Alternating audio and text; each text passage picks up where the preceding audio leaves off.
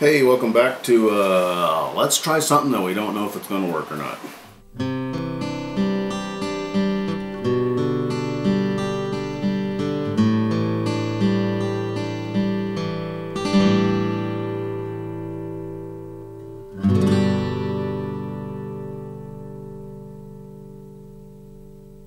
Um, I have the, uh, here's the the headstock or the peg head or you know whatever you want to call it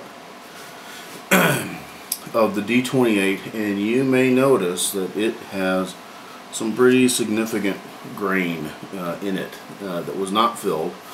Um, so we're gonna adapt something and we're gonna see if it works that um, Robert O'Brien talked about on his uh, on his YouTube channel and that is pore filling with sawdust. Now he used uh, a one pound cut of shellac. I don't have shellac. I don't work with shellac.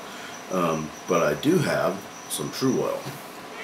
Is this going to work? I have no freaking clue. Um, it will be uh, entertaining to see. Oh, do you hear it? Do you hear it? The cat? The jingle, jingle, jingle? He's not been around me the entire day. I am now convinced that that when he hears the shutter click, that's when he goes, Oh, he needs me. He wants me. I should go get under his feet and bury my muzzle in his armpit while he's doing something because he needs my help.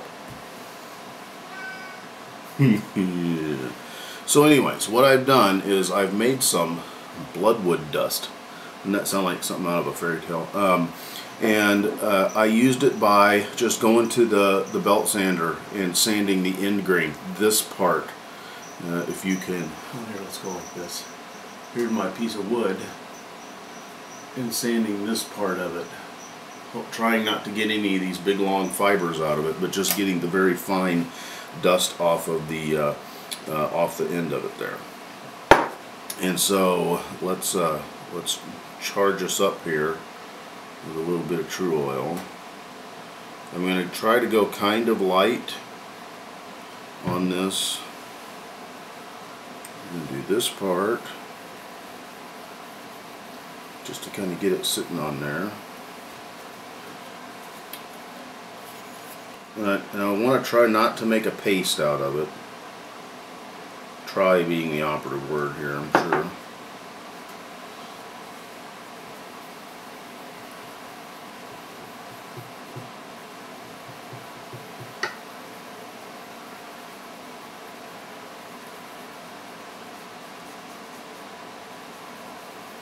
This apparently just is an amazing technique to do with varnish.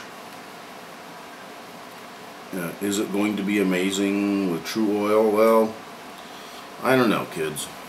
Um, we got a couple of things.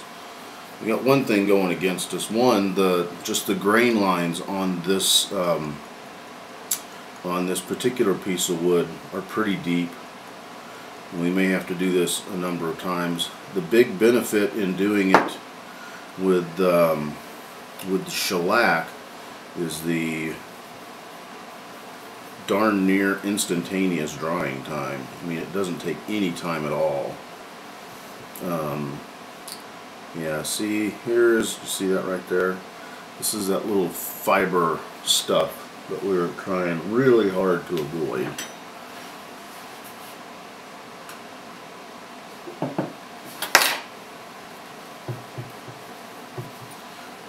just another dab here.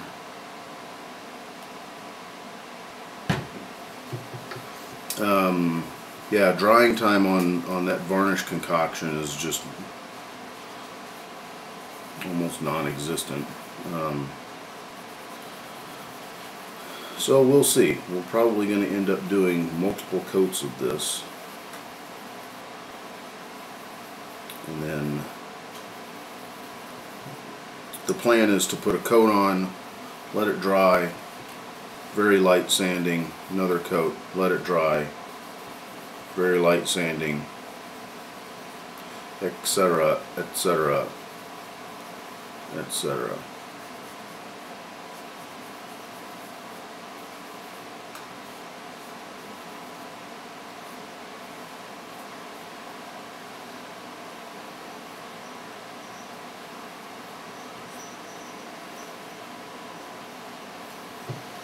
So uh,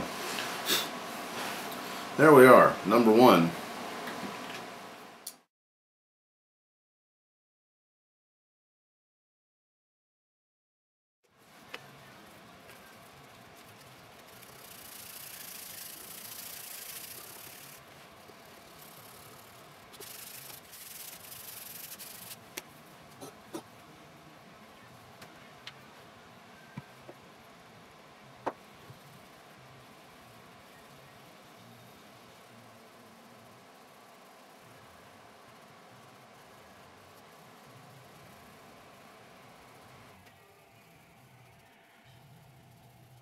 Let's look back. We're um, six or seven coats uh, into this experiment. Um, as you can see, I think we're getting somewhere. Um, let us not be fooled. Are there easier ways to do this? Oh, yes. Um, and not just one, probably two or three different ways that I can kind of think of uh, that come to my mind. Um, does this utilize things that we have on hand here in the shop? Yes. Does it minimize our expenditure of funds which we don't have great piles of? Yes. Um, so while this might not be the best solution, the most efficient solution, um, the most appealing uh, display-wise or appearance-wise solution, it might uh, just be the way um, to go, at least for this one, because um, should have been the tyranny of time got a hold of us um, on this one, and um, uh, hopefully uh, I won't have to do that anymore. Um, I'm just continuing to do the same thing over and over and over again. Um, powdered um, sanding dust, Tru-Oil on a rag, wipe it in, let it sit, um, let it dry. Um, three or four hours or so is what I'm doing. Uh, and then a very light sanding with uh, some 220. Uh, and I don't wipe the dust off of it, the sanding dust that comes up, um, and then I sprinkle a little more, a little more oil, on and on and on. That's that's what we're doing. Um, this and then at the same time, right at the end, I just give this a little bitty wipe um, with the leftovers that are usually on the top of this. So this is coming along as well. So we're gonna keep keep doing what we're doing. All right. Um, yeah, I don't think we did too bad on this one. Um, I just cleaned um, both the truss rod cover and the uh, um, and the headstock uh, with some naphtha. I de-dusted them, um, and so now it's just going to be straight Tru-Oil application. Um, kind of eager to see what this is going to look like once we start laying just the plain Tru-Oil on it. Um, because there's a difference. Um, I can definitely tell a difference. Oh, and this has been this has been sanded too. Um, just lightly sanded to get the surface uh, down. Um, but yeah, I can you can already tell that it is not nearly as surfacey, God, that's a bad word. Um, the texture's gone.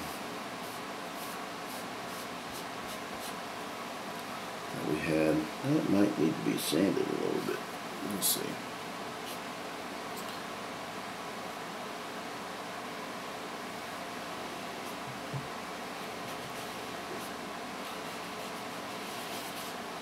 Yeah, we're almost going to treat this like a first, like a first time, a first coat, um, just because of the added sawdust. It's now in there. It's kind of soaking up with stuff. You can see there's different areas that are soaking the Tru-Oil up more than others. So we're just going to keep laying it on there until it stops, and then we're back to just normal everyday Tru-Oil operations. I think this worked out actually really good. Um, it was kind of time consuming because, um, like I said, I just did this over the course of like three days. Um, I would just come in every couple hours and uh, and do the treatment.